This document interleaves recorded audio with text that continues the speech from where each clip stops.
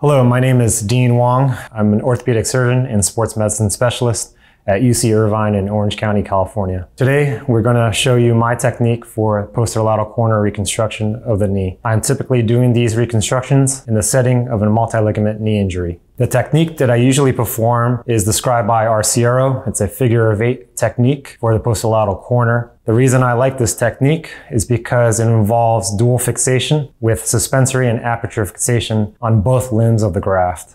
Additionally, with this technique, I use a tension slide method to tension the graft limbs on the same side of my surgery. So the posterolateral corner typically involves various structures on the lateral aspect of the knee, including the lateral collateral ligament, the popliteal fibular ligament, and the biceps femoris inserting on the fibular head.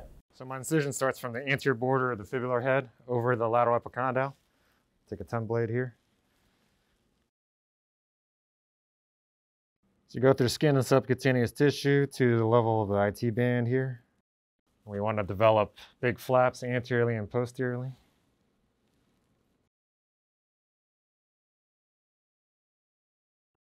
Okay, so immediately I want to go find my peroneal nerve and dissect it out. So you have a Senn retractor? So here's fibular head, and then I pick up Trying to feel the peroneal nerve wrap around the fibular head there. Peroneal nerve should be right underneath this biceps here. You want to spend some time on this. You want to get the nerve out of the way so you don't injure it during your posterolateral corner reconstruction. Usually if this is in a chronic setting, I usually will have my um, hand surgeon partners uh, help out with this portion of the case. But if it's fresh, I feel like I'm, you know, the anatomy is um, easy enough to visualize where I can do this uh, confidently. Dissecting out this peroneal nerve, just taking my time to make sure it's protected. So I want to get this nerve freed up so that it falls posteriorly when we're doing our work. Usually proximally, you can just stick your finger in there and I'll free up all the adhesions. So once I get this vessel loop around it, which makes this part of the case a lot simpler. Okay, so now I have my peroneal nerve dissected out and freed and it's falling posteriorly. Here's my fibular head. So I need to know where the nerve is at all times so I'm not injuring it. Okay, so, so next I want to expose my fibular head. I usually start up, start off at this biceps bursa, so right here. I used to start more anteriorly here and found that it was tough to get around these tissues to the back of the fibular head, so uh, this is a key portion. And usually you can take a Cobb and sort of elevate all these tissues off here. And you get want to get back to the level of the tib fib joint here in the fibular head. Distally, I want to peel off some of these tissues, this muscle here, so I know I'm starting low enough on my tunnel. I want to make sure that I'm I can stick my finger in the back there. I can feel the tib fib joint. I can actually feel the, the posterior proximal tibia as well. You can tag the LCL and incorporate this into your reconstruction. At this point, I want to make sure that I drill my 2.4 millimeter guide wire from anterior lateral to posterior medial uh, in the fibular head. A common mistake is to either start too high or to drill too laterally where you won't get a long enough socket and it can create a thin lateral fibular cortex in which the graft can pull through. So you want to make sure that you're oblique enough sort of this way and heading into the posterior medial aspect of the fibular head. Uh, alternatively, you can use a ACL tibial guide um, to drill this pin. So after I've exposed the fibular head, I make my second window over the epicondyle, the lateral epicondyle here, just to expose the LCL and popliteal attachments And I should see capsule here. A lot, oftentimes the capsule is avulsed off. And I can repair the capsule. If I see the LCL down here, I can pull on it. In this case, the posterolateral capsule is avulsed off the condyle, so we're going to repair this with an all suture anchor. This is a 1.8 millimeter Versaloop um, all suture anchor, double loaded. And we're going to put it right at the articular margin over here. Going to bottom out while drilling. Leave the guide in place. Pop this Versaloop in. Tap it all the way until it bottoms out. There we go. Unwind these sutures.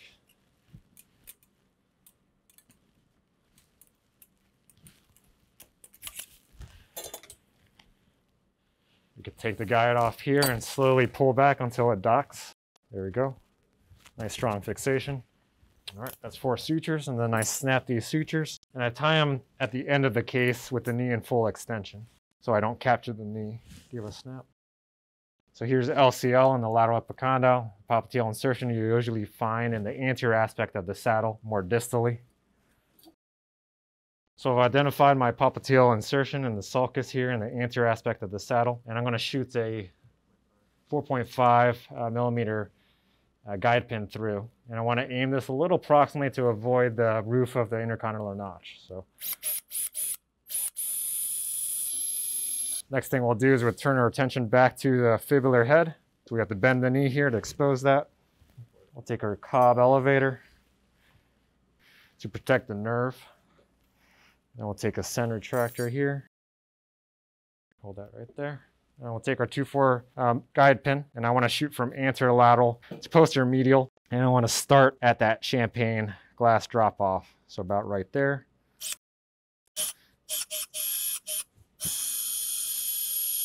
And I usually freehand this. Good, so I have my Cobb elevator where the guide pin hit. Just want to stick my finger back there to make sure that I like my trajectory. I want to make sure it's oblique enough. And it should be pretty close to that tib fib joint there. Next thing we do is we shoot a single fluoro shot to make sure that our guide pins are in a good place. After we like the position of our guide wires, I'm going to stick the Cobb elevator back in the back of the fibular head, again, noting where our nerve is. Then we're going to ream the 7 millimeter reamer on top of the guide wire. Bicortical. We'll clean out all this bone debris here. I like to stick an argyle suction tip through this, which fits perfectly through just to suck up all the bone dust. Then I'll stick my chia wire through, treat that wire through, and then we'll snap it for later graft passage. Next, we'll go back to this popliteal insertion site. So we've already drilled with our 4.5 millimeter spade tip to pass our button. And so we're going to over ream with a 7 millimeter reamer to about 25 millimeters. About 25. You don't want to go too long on this just to save on graft length. I'll go clean out this bone as well. Okay. Then we'll take our tibialis graft. And I love the speed trap for this. For this posterolateral corner reconstruction, I like to use a tibialis allograft um, that's at least 25 centimeters in length. Usually the tibialis graft will come already in about 7 millimeter diameter. You can also use an Achilles graft for this as well. And then to prep the graft, I like to use a speed trap. This is a super quick method to whip stitch um, the graft. So we'll grab our Alice clamp here, feed one end through, clamp it down here. And this, you can use a 20 millimeter speed trap. Finishes there. And we have our whip stitch tendon right there. So this is a whip stitch graft. You should have one suture limb that's longer than the other. And this suture limb is going to be the limb that you pass through the screwdriver. So next we're going to take our titanium rigid loop button. We can tension slide the graft in. You can use the inner holes for this. The outer holes already contain the passing suture. So here's one. Pass it through opposite ways. We'll snap these sutures attached to the graft here. So next we'll pass our passing sutures through the eyelet. One, go ahead and pull through. Then we'll pass this button through and dock it on the medial cortex like this. And then so we'll flip it with the green here, like that. Then using, using tension slide technique, we can dock our graft in here, like that. Good. Then let's take our Milagro screwdriver with the screw already loaded we want to take our longer suture limb, pass it through the chia, which then goes through the screwdriver. You clamp the suture on top of the screwdriver. Then with tension held on the limbs, insert the screw through.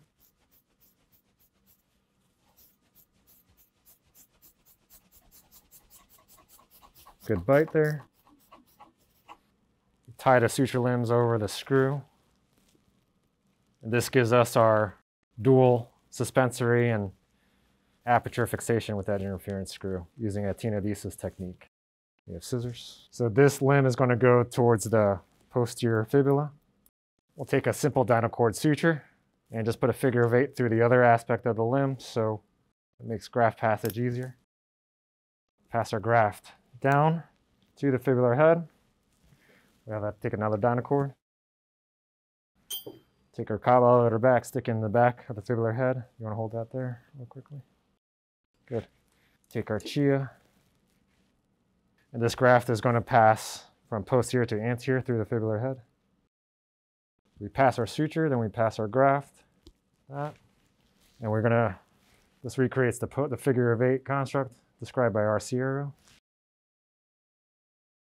So the LCL origin is slightly proximal and posterior to the lateral epicondyle. So lateral epicondyle is here. LCL is right here. And again, I can pull on this distal limb here to see exactly where it is. It's just right here. So I'm going to check where my graft is going to dock. So that's the LCL origin. I'm going to make a mark right there. And at this point, I can check my isometry to make sure my tunnel is in the anatomic position. So you can take that out. I'm going to fully extend, fully flex. I like that position. Our graft is not moving too much. So oftentimes this is done with an ACL reconstruction. And so to avoid the femoral tunnel of the ACL, as Laprade described, you want to shoot your pin slightly anterior, about 40 degrees from the ground here. So we have checked our isometry of the graft. We like our position of the LCL femoral socket. Again, I'm to drop my pin down to avoid that femoral ACL tunnel. I'm to shoot a little proximal as well. Shoot it through the skin here. And I want to ream to about a depth of 40 to 45 millimeters. This ensures that our graft won't bottom out. Next thing we do, I like to put a screw into the fibular tunnel. And so we'll take our 7 by 23 millimeter Milagro Advance biocomposite screw, as we had before. So I have the knee at about 30 degrees of flexion, neutral rotation. Pull good tension there. We're putting in our Milagro screw. Final thing we do to prepare the graft, we'll take our speed trap again. And we've marked the position on our graft where we're going to dock it into our socket. Right there. At this point, we can cut off our excess graft here. You want to bullet it so that it feeds into the socket pretty nicely.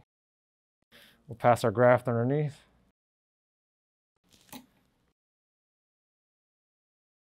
Okay, good. Then we'll take our Rigid-Loop button and load it in like we did previously. Go ahead and pass through. Mm -hmm. There we go. And again, we'll use our tension slide technique. I want to position the knee at 30 degrees of flexion, neutral rotation, and a slight valgus force. We can turn our screwdriver, put in our 7 by 23 millimeter Milagro Advance.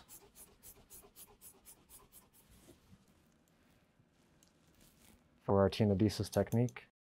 And that's our posterolateral corner reconstruction. We have our graft. This recreates the popliteal limb passing through the fibular head. And then we have our graft from the anterior portion to uh, the LCL origin to recreate the LCL limb. And then we'll tie our sutures that we passed through the capsule to plicate it. So again, we check our nerve, make sure it's intact, and that completes our posterolateral corner reconstruction.